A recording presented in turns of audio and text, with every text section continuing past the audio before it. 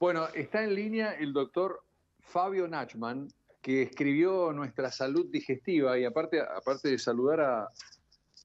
Perdón, no sé si me estaban escuchando. Aparte de saludar a Fabio Nachman, el doctor Nachman que está en línea, quiero decir que tiene un Instagram, pero que está impresionante. Hola Fabio, ¿cómo andas? Soy Macu. ¿Cómo estás, Macu? Tanto tiempo. Tanto tiempo y te tengo que ver pronto, así que ya estoy nervioso, mira. Está muy bien. No, no, no hace falta te pongas nervioso. No, no, no. Bueno, primero, a ver, estoy hablando con el doctor Nachman. Tiene 129 mil seguidores. ¿Cómo fue ese crecimiento en Instagram, Fabio? Bueno, la, verdad que empecé en pandemia, nunca tuve red social y me, convenció Vir Busnelli para hacer un, vivo con ella y me gustó la, la divulgación y bueno, de a poco vi que la cuenta fue, fue subiendo y es algo que, disfruto, ¿no? Obviamente que es paralelo a mi trabajo, que me lleva mucho tiempo, así que trato de ver cómo lo voy administrando, pero la verdad que fue creciendo enormemente la cuenta. Claro, empezaste con Vir, que tiene 500 mil seguidores, tiene medio millón de seguidores, Vir Sí, sí, sí. que es gastroenteróloga también, ¿no? no, ella, ella es ¿Qué especialidad tiene? Ella es endocrinóloga y se dedica ah, mucho a lo que es tiroides y sobrepeso. Sí, totalmente. Bueno, hice algún vivo con ella y la verdad que nos vieron un montón, un montón de, gente. Bueno, eh, Nuestra Salud Digestiva, tu libro, ¿es el primero o ya tenés otros libros? No, no, es mi primer libro. contanos, lo presentaste acá en la feria, ¿no? Sí, sí, estuvimos en la feria. El, libro lo escribimos eh, junto con el doctor José María Sanguinetti él, eh, él, es nieto de un autor de un libro importante del que estudian todos los médicos acá en Buenos Aires, que es el libro Sanguinetti, que es de fisiología. Él fue compañero mío toda la carrera y gran parte de la especialidad también, ahora está viviendo en Salta. Y bueno, la verdad fue una, muy linda experiencia, la escribimos entre los dos y mm, con esto de, la virtualidad nos fue ayudando a intercambiar textos y lo presentamos hace dos, tres semanas en la Feria del Libro, una hermosa experiencia y bueno, eh, nada, la verdad que, uno plasma lo que habitualmente suele ver en consultorio, eh, porque tratamos de, un poco lo que hago en la red social, divulgar lo que está demostrado, ¿no? Sin hablar de más, sin hablar de suposiciones este, o de cosas potenciales, sino de lo que hasta la fecha está demostrado, tratando de, recorrer la mayoría de las patologías este, digestivas, poniendo de ejemplos casos, casos de, pacientes puntuales, para que la gente se, se sienta identificada y ir teniendo algunas pautas de alarma y cuáles no, para no normalizar los síntomas. Y todo esto va, juntando recomendaciones que al final, el último capítulo, lo tiene que completar el lector. ¿sí? Eh, lo va completando el lector de acuerdo a la presencia de síntomas o no, a la presencia de antecedentes personales o familiares, eh, a hábitos, este, mm, así que, bueno, y tiene, tiene, digamos, se pone eh, una serie de objetivos para el lector que son medibles, que son alcanzables, y eso es, es interesante para, para mejorar los estilos de vida. Qué interesante. Estamos hablando de nuestra salud digestiva con el doctor Nachman. que ¿Cuánto tiempo les llevo escribir eso, Fabio? Eh, aproximadamente neto, neto de escritura, unos tres meses, em, porque aparte también lo hicimos paralelo a nuestro trabajo, eh, así que por ahí nos quedamos algún domingo feriado escribiendo e intercambiando los textos, pero sí, más o menos unos tres meses. Claro. Muy impresionante tu transformación. Yo el otro día leí algo que decía, si me conociste, suponete una, un, alguien escribió, si me conociste hace un año y medio o algo, ya no me conoces, porque es como que vamos evolucionando, va cambiando la persona, ¿no? En ese sentido, lo que siento es que hay un gran trabajo de, divulgación de tu, de tu, ciencia, de lo que sabes, porque en realidad el doctor Nachman debe saber desde que se recibió en adelante mucho y vas todos los días vas aprendiendo y vas, y vas divulgando tus cosas, pero el, el hecho de redes, Ahí te vi que también estuviste en Radio con vos, donde alguna vez has estado conmigo, en fin, ha hecho que, vos puedas divulgar más tu, conocimiento. Está bueno eso.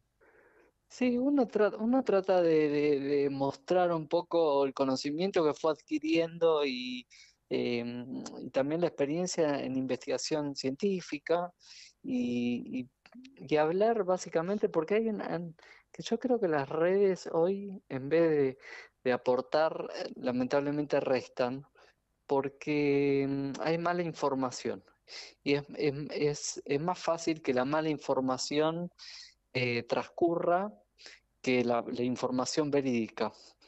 Porque, bueno, el comportamiento de la gente le, llama mucho más la atención lo esotérico, eh, este, lo, misterioso, el, em, entonces, eh, justamente la gente, al no encontrar respuestas, a veces en, algún consultorio, al no sentirse escuchado o, no ver este, mejorar sus síntomas, recurren a, cosas alternativas y lamentablemente es lo que más, este, lo que más este, trasciende. Eh, no sé, mensaje de lamentablemente algún que otro médico también, pero básicamente coach, eh, eh, algunas nutricionistas que no, no están especializadas y bueno, es penoso, pero, mm, pero bueno, sucede y así es como llegan al, digamos, al consultorio, llegan después de haber transcurrido por dietas muy, muy restrictivas o haberse hecho estudios carísimos que no tienen ningún sentido y bueno, por eso te digo que a veces las redes en vez de, en vez de sumar restan, pero bueno, por eso también es que decidí quedarme en las redes, porque te resta, te resta tiempo, te, genera esfuerzo, pero uno ve que si no mm, lo que abundan es, son esos mensajes, ¿viste? De la demonización de los alimentos. Claro, me, imagino vos leyendo mensajes que no son correctos, te dan ganas de intervenir inmediatamente, ¿no? Sí, sí, absolutamente. Claro, obvio, obvio. Y no, y me parece muy bien, y te digo que es impresionante, porque no es fácil tener, conseguir este, que te sigan en Instagram, es muy difícil. Este, hay mucha gente que tiene. Mira, hoy hice un, vivo, eh, se lo contaba hace un ratito a la a la María Laura Basterrica, que habló recién, especialista en jardines conmigo, y le decía que hoy hablé con una chica que tiene un millón de seguidores en Instagram y teníamos 450 personas mirándonos el vivo. O sea, con lo cual esa chica, si no hubiera tenido su Instagram, tenía un millón de personas menos que estaban en contacto con lo que ella sabe. Sí, sí, claro. Bueno, es, es, lo que, es lo que pasa. Y bueno, también los vivos de Instagram tienen que ver con la cantidad de seguidores que, de, de los participantes en el vivo, eso, eso colabora mucho. Y bueno, también qué calidad de seguidores tiene, la interpretación, eh, y otra cosa importante es, eh, hay una gran polaridad, porque no solo uno lo ve en, la política, se ve en todo, hay una polaridad enorme en el cual no, no hay puntos medios, eh, o sos keto o, o, sos este, antigluten, o sos, pero aparte a nadie se le ocurra dar un mensaje contrario porque te saltan a morderte la yugular. Sí, totalmente. Hay mucha, mucha polarización. Ya están los haters también, ¿no? Que, están viviendo de esos también y tienen intereses en el medio. Te quiero hacer esta pregunta, no tenemos mucho tiempo más, pero te quiero hacer esta pregunta. ¿Cuál es de las consultas las más frecuentes que haces ahí? Te vi que estabas hablando sobre celiaquía también. Em, ¿Y cuáles son las consultas que te hace la gente o las problemáticas digestivas o de, la, gastroenterología que más ves? Una de, mis principales experticias, aparte de la endoscopía, que, me gusta, pero trato de no, no, ahuyentar tanto a la gente con la endoscopía, es la enfermedad celíaca. Eso es algo que a mí me, apasiona mucho y tuve mucha formación en eso. Pero las mayores consultas en, el consultorio, quizá la número uno es la distensión y el, el, disconfort abdominal, y después las alternancias del ritmo vacuatorio, más eh, más diarrea, constipación, gases, a veces algo de lo que nosotros llamamos epigastragia, que es el, dolor en la boca del estómago o la subida de, o la sensación de subida o sensación de quemazón a nivel del tórax, que nosotros le decimos pirosis.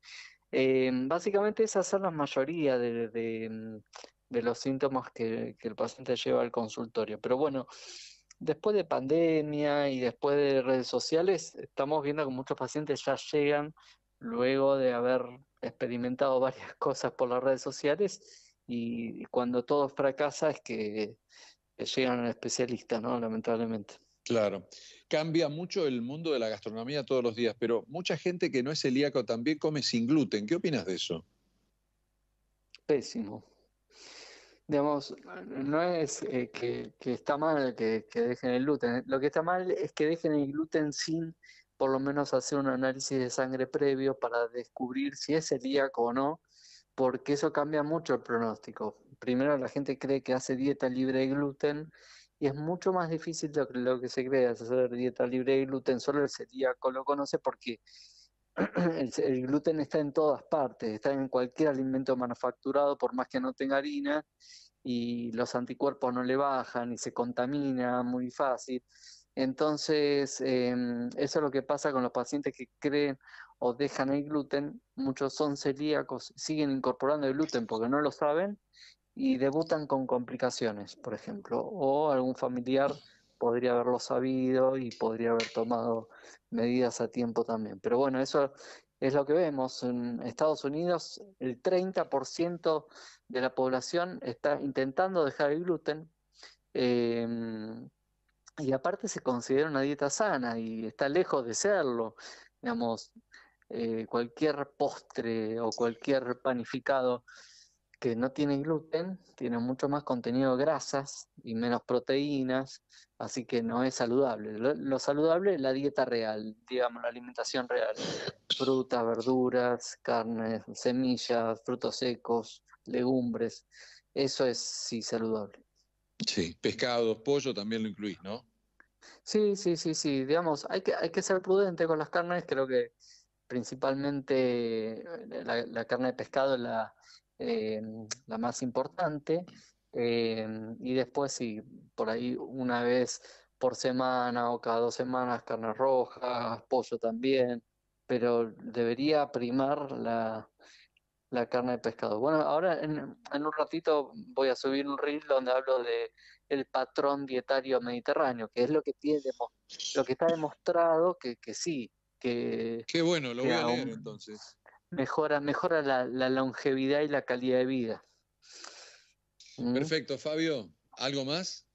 No, no. Bueno, nada, el libro me parece este, es interesante, es llevadero, es ameno.